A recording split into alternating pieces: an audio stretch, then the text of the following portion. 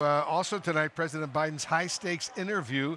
We just got our first clip from uh, Biden's highly anticipated interview with NBC News, and in it, President Biden talks about Trump's assassination attempt, his phone call with the former president, and more. Listen to this. Mr. President, thank you for sitting down with us. There's a lot to talk about. I'd like to start with the horrible events of last weekend. It has shocked a lot of Americans. A political rally, your opponent, Donald Trump, uh, shot uh, in the middle of greeting his, his supporters. Um, you spoke to Mr. Trump afterward. Can you give me a, a, sense of that conversation? Very cordial. I told him how concerned I was and wanted to make sure I knew how he was actually doing. he sounded good. He said he was fine. And he thanked me for calling him. I told him he was literally in the prayers of Jill and me and I hope his whole family was weathering this. Well, let's talk about the conversation this has started, and it's really about language, what we say out loud, and the consequences of those. You called your opponent an existential threat uh, on a call a week ago. You said it's time to put Trump in the bullseye. There's some dispute about the, the context, but I think you appreciate. I didn't say crosshairs. I was talking about focus on. Look, the truth of the matter was what I guess I was talking about at the time was there was very little focus on Trump's uh, agenda. Yeah, the term is bullseye. It was, a, it was a mistake to use the word. I didn't, I didn't say crosshairs. I meant bullseye. I meant focus on him. Focus on what he's doing. Focus on, on, his, on his policies. Focus on the number of lies he told in the debate. Focus. I mean, there's, there's a whole range of things that, look, I'm not the guy that said, I want to be a dictator on day one. I'm not the guy that refused to accept the outcome of the election. I'm not the guy who said that one accept the outcome of this election automatically. You can't only love your country when you win. Mr. President, you've been in politics a very long time, so let, us speak frankly. We're all adults here. Has this shooting changed the trajectory of this race? I don't know, and you don't know either. I don't know, but, no, but no, you, something I, you've given thought to? No, I, I've thought less about the trajectory of the case than two things. One, what his health is, that that was secure, number one.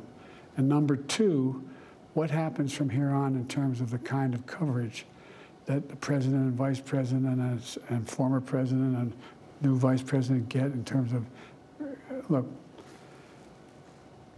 I've never seen a circumstance where you ride through certain rural areas of the country and people have signs there, stand, big Trump signs with a middle sign saying F Biden and a little kid standing there putting up his middle finger. I mean, that's the kind of stuff that is just inflammatory and a kind of viciousness. It's a very different thing than to say, look, I really disagree with Trump's the way he takes care of taxes, the way he has uh, wants a five trillion dollar tax cut for people who making a lot of money next time around.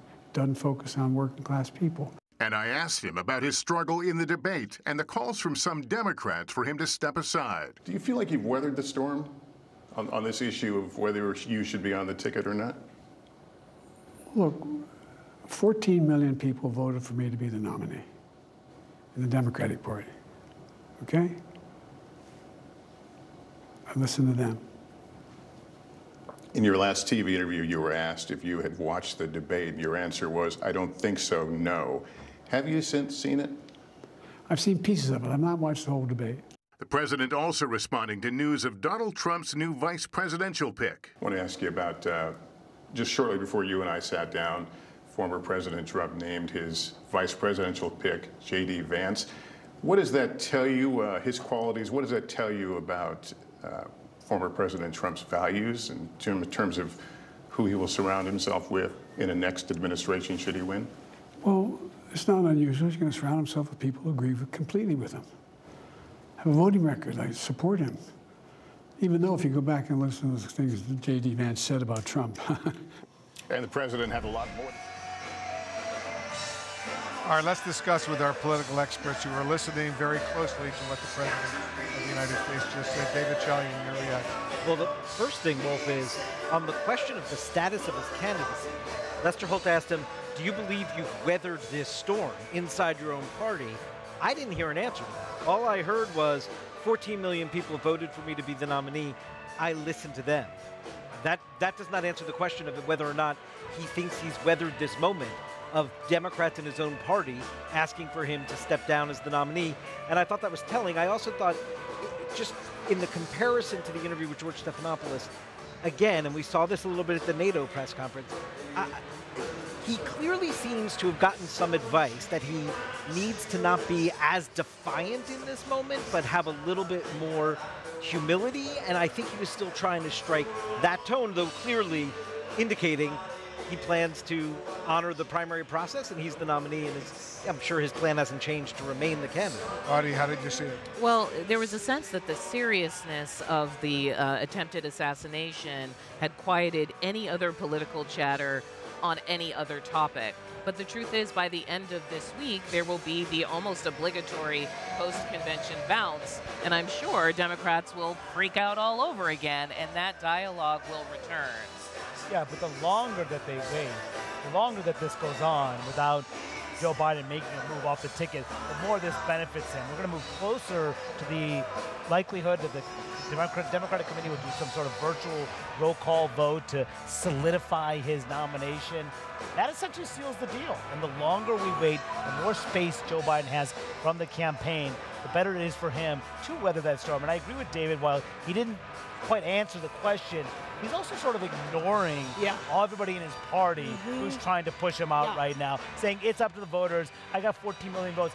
Well, he didn't really have a serious primary. Right, yeah, yeah. But, but I think it was a pretty definitive uh, answer here, and he's given, you know, a similar answer, which is he's not leaving the race. He, he gave a pretty uh, defiant speech, I think, in Michigan uh, last week. Listen, he's going to try to be out there as much as possible this week. This is one of the interviews he's doing. He's going out to Vegas, talking to black uh, and brown voters there. He's going to be on BET. He's going to be on Young as well. You know, he, he has a base, and some of those people, particularly African American voters, they are riding with Biden, and I think that was to his answer too when he said, "I've got those 14 million of votes from the primary process. Those are the people I'm going to listen to, not the Washington elites." Uh, who've been trying to push me out. I did think uh, one of his answers was when Lester Holt asked the attempted assassination changed the trajectory of the race. He said, I don't know. Uh, and we don't know. In the moment, uh, it certainly seems to have uh, galvanized and engendered support and certainly empathy for former President Donald Trump. Let's see how this convention goes. But to Manu's point, time is on President Biden's side here. That is what gives so many Democrats uh, so much pause and fear and worry because they believe or wonder if the window sort of moved right before the shooting. That afternoon, we still haven't talked about this enough. Senator Chuck Schumer went down to Rehoboth for a meeting at President Biden's home. I'm told it was very candid and very frank, as frank as the Hakeem Jeffries, the House Democratic leader, meeting two days earlier. And there were some who believed Biden should reconsider, who thought he was maybe getting more to that point. And of course, the shooting uh, happened uh, literally in the next hour. So we don't know at this moment, but it has not eased the concern of many Democrats who think well of President Biden, but they worry what will happen to the Democratic ticket in those House and Senate races. I, Manu has the, the talk up on Capitol Hill about potentially President Biden dropping out of this race. Has that gone away at least for now? Well, privately, it still exists. Publicly, it has not. It's really subsided in the aftermath of the Trump shooting. Democrats really not wanting to engage in that discussion. But you guys are right. There's going to be a bounce out of this convention that will cause that discussion all over again. But what's really remarkable in all of this is just so how much Trump has just solidified the Republican hold on the Republican Party. When Mike Lawler was here talking to you, Wolf, he is from a swing district in New York, typically the kind of person who would run away from the top of the ticket. He was here, he was fine defending his support for Donald Trump. It is much different with Joe Biden in his party right now, with so many members, including in those swing districts and swing seats, running away from the top of the ticket because they're concerned about how you can drag them down.